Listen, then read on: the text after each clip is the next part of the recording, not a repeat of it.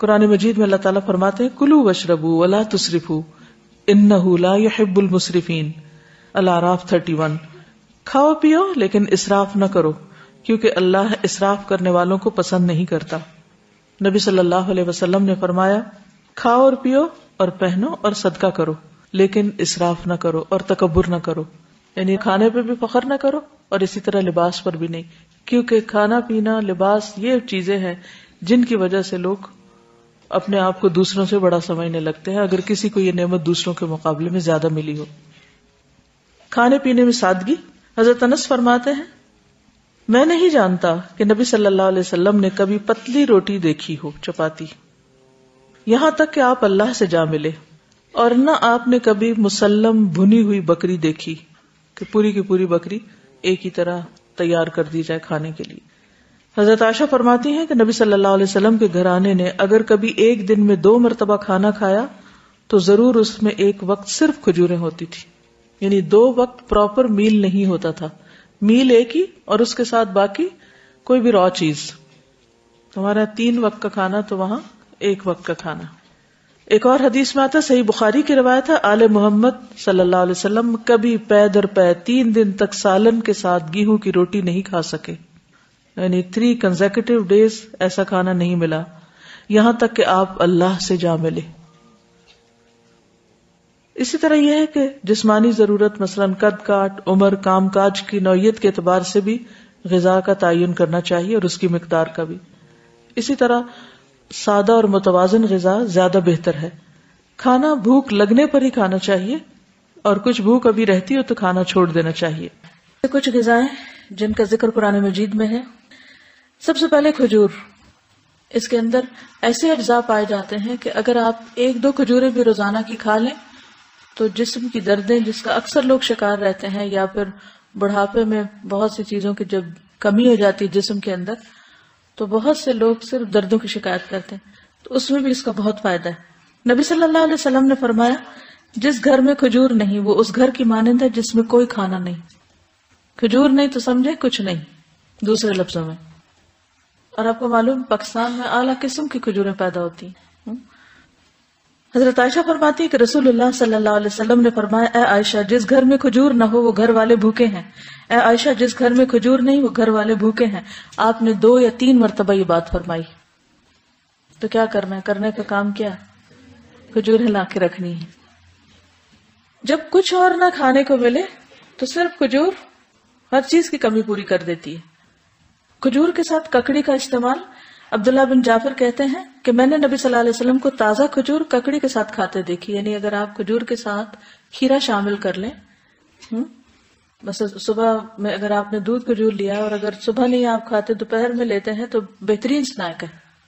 दोपहर के खाने का काम कर सकते हज़रत आयशा कहती कि मेरी वालदा मुझे मोटा करने की तदबीर करती थी ताकि मेरी रुखसती करके अलैहि वसल्लम की खिदमत में रवाना करें। लेकिन ये मकसद किसी तदबीर से हासिल न हुआ। हती कि मैंने खजूरों के साथ ककड़ी खाई तो मैं इंतहाई मुतनासिब अंदाज की फरबा हो गई, यानी कि अच्छी फिजीक हो गई।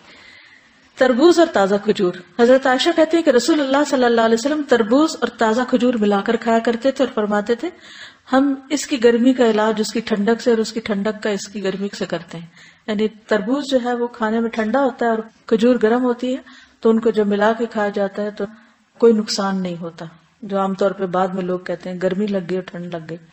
एक सहाबी से मरवी है कि नबी सल्लल्लाहु अलैहि वसल्लम ने कच्ची और पक्की खजूर और किशमिश और खजूर से मना फरमाया, इनको जमा नहीं करना चाहिए, क्योंकि किशमिश जो होती है वो भी गर्म होती और अगर खजूर खाए तो इन दो चीज़ों को मिलाए नहीं अगर आप कोई खाना बना रहे हैं, कुछ, क्योंकि हमारे यहाँ बाज रेसिपीज़ ऐसी होती है कि उसमें दुनिया भर की चीज़ें इकट्ठी कर दी जाती तो बाजू का तो सेहत के लिए नुकसानदेह होती है।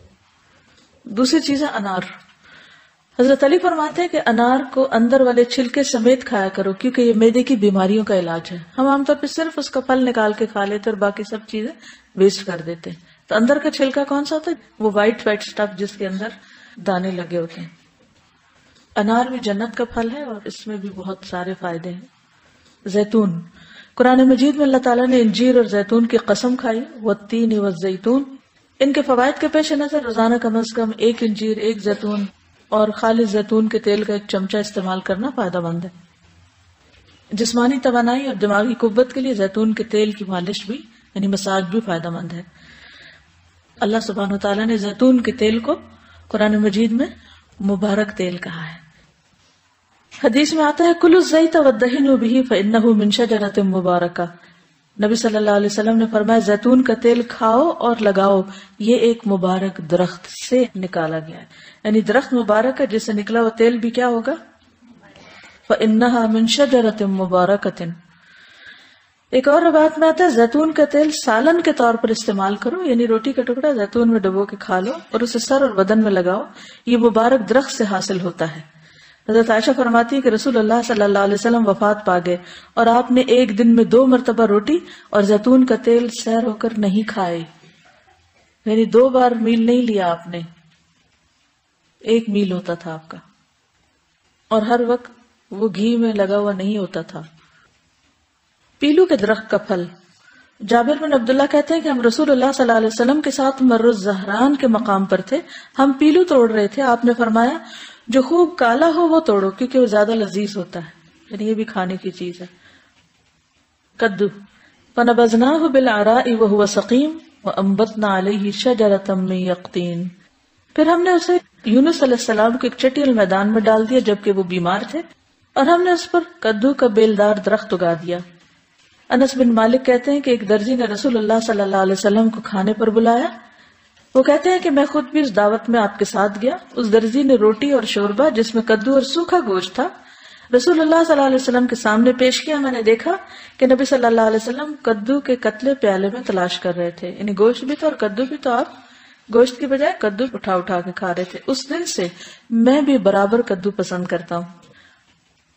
हज़रत यूनुस की बीमारी के इलाज के तौर पर कद्दू की बेल उगाई गई थी, जिससे उनके जिस्म पर जो भी मछली के स्टमक में जाने की वजह से जो एसिडिक मादा था वो लगने से जख्म वगैरह हुए होंगे, उनका इलाज इससे हुआ। अनस कहते हैं कि इसके बाद जो खाना मेरे लिए तैयार किया गया और जितना मुझसे हो सका मैंने उसमें कद्दू को ज़रूर शामिल कर लिया। चुकंदर और जौ। सहल बिन साद कहते हैं कि हमें जुमा के दिन बड़ी खुशी होती। हमारी एक बूढ़ी खातून थी, वो चकंदर की जड़ें लेकर अपनी हांडी में पकाती, ऊपर से कुछ जौ के दाने उसमें डाल देती। हम जुमा की नमाज़ पढ़कर उनकी मुलाकात को जाते तो हमारे सामने ये खाना रखती। यानी हर जुमा वो ये खाना पका के रखती और हम सब खाते। जुमा के दिन हमें बड़ी खुशी इसी वजह से रहती थी। यानी हमें पता होता था, आज अच्छा सा खाना मिलेगा। हम नमाज़ जुमा के बाद ही सुबह का खाना खाया करते थे। अल्लाह की कसम, न उसमें चर्बी होती थी, न घी। यानी चकंदर होते थे उबले और उसके ऊपर जौ के कुछ दाने। फिर भी खुश होते थे। हमारा क्या हाल है? हम्म? कहते अल्लाह की कसम, ना चर्बी होती थी, ना घी। अगर हमें कभी बीमारी में भी, कभी इलाज के तौर पर भी ऐसी सब्ज़ी खाने को मिले तो हम अपने आँसू से